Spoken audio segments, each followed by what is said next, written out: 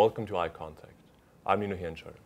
Calculating the correct IOL power for an eye that has previously undergone refractive surgery is very challenging. Today I have the pleasure to discuss with Professor Graham Barrett these uh, challenges. Thank you very much for coming today. Thank you, Nina. So, what is it that makes IOL power calculations so challenging in these cases that have undergone refractive surgery? Um, they are challenging, and there's really uh, fundamental reasons why that's the case. And the problem is, most of our corneal power calculations assume a certain relationship between the posterior cornea mm-hmm.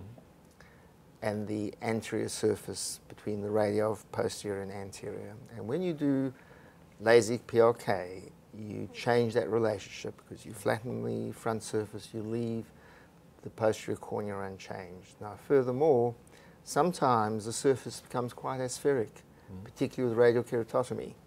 And you've got another problem is that wh where are you actually measuring the power? Uh, and the last thing is a lot of IOL calculation formulae um, utilize a prediction for the anterior chamber depth. And you've changed now the central and the peripheral curvature of the mm. cornea. They no longer match. So all three things are relevant, but the most important is the disturbed ratio between the posterior and the anterior radius of curvature.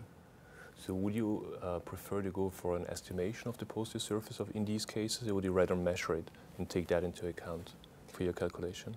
Well, traditionally, that disturbed ratio has mm -hmm. to mm-hmm. be taken into account uh, in the post-refractive formulae. Yeah. And over the years, we've learned to do that very well. And uh, now that we are able to measure that posterior cornea, we're learning for the first time the value of being able to utilize a post-refractive formula mm-hmm. incorporating measured posterior cornea. Mm -hmm. And do you have any kind of device that you prefer for these kind of measurements, or you have also three different approaches that you have, three different measurement methods that you combine for one?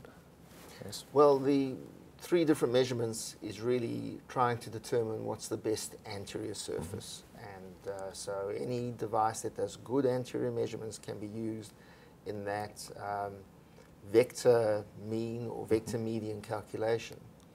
Uh, for the post for the posterior cornea, we've really got two technologies. We've got mm -hmm. Imaging, and we've got uh, more recently swept source OCT. And uh, both, I think, have good utility. Both are effective. Um, I suspect that the swept source OCT is probably going to be more accurate just because the speed of acquisition yeah. uh, is, is faster. I think so too, yeah. Okay. And in those cases, in those patients especially where you have any kind of, of radiokeratometry, for example, do you have any kind of approach for these patients? Because I think they're even more tricky than maybe than LASIK and LASIK patients. They are more tricky, but it's not a uniform category. Mm -hmm. So a four or eight incision RK is yeah. quite a different creature than maybe a 32 yeah, incision. Sure. Fortunately, the latter we don't see that uh, often. Mm -hmm. But actually, I find that RK calculations, uh, the strategy you use is somewhat different, of course. Mm -hmm. And of course, when you use, say, the TrueK uh, calculator, it does RK as well as LASIK, but it's taking you down a somewhat different pathway. But I still find that I can get um, good results with post-RK prediction. Mm -hmm. May I ask you, what kind of measurements do you do in your clinic for these patients? sure. Uh, well, I, I, treat them pretty much like every patient who undergoes cataract surgery. All my patients get three devices, mm -hmm. uh, IOLMaster 700, Lenstar, and mm -hmm. Pentacam. Yep. And that, of course, applies for uh, those that have had refractive surgery. Yeah. But then I'll utilize the information somewhat differently uh, in the post-refractive context. Mm -hmm. Okay. And do you have any kind of advice for us for patients who have irregular astigmatism, maybe due to refractive laser or any kind of irregular astigmatism otherwise?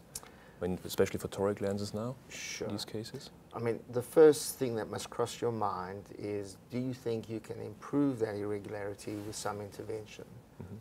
Mm -hmm. Uh, but to be honest, although I will use lubricants and bring them back and uh, lid hygiene, etc., mm -hmm. uh, in many cases you do that and you bring them back in a month, and guess what?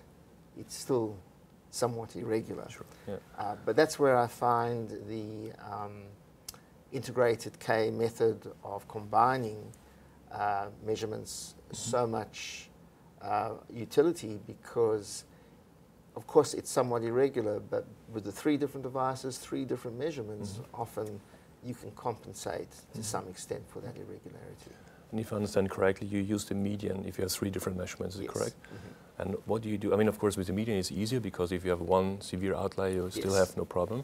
But then, uh, if I also understand correctly, if you have only two measurements, you go for the mean. And do you also That's right. do you also take into account if there is a large deviation between the measurements? Because then the mean could still be wrong because one of the measurements could be wrong. Yes. Anything to counteract to that, maybe? That's why I do three. That's is. It's a good. Thank you very much for joining us today. It's a pleasure, Nina. Thank you.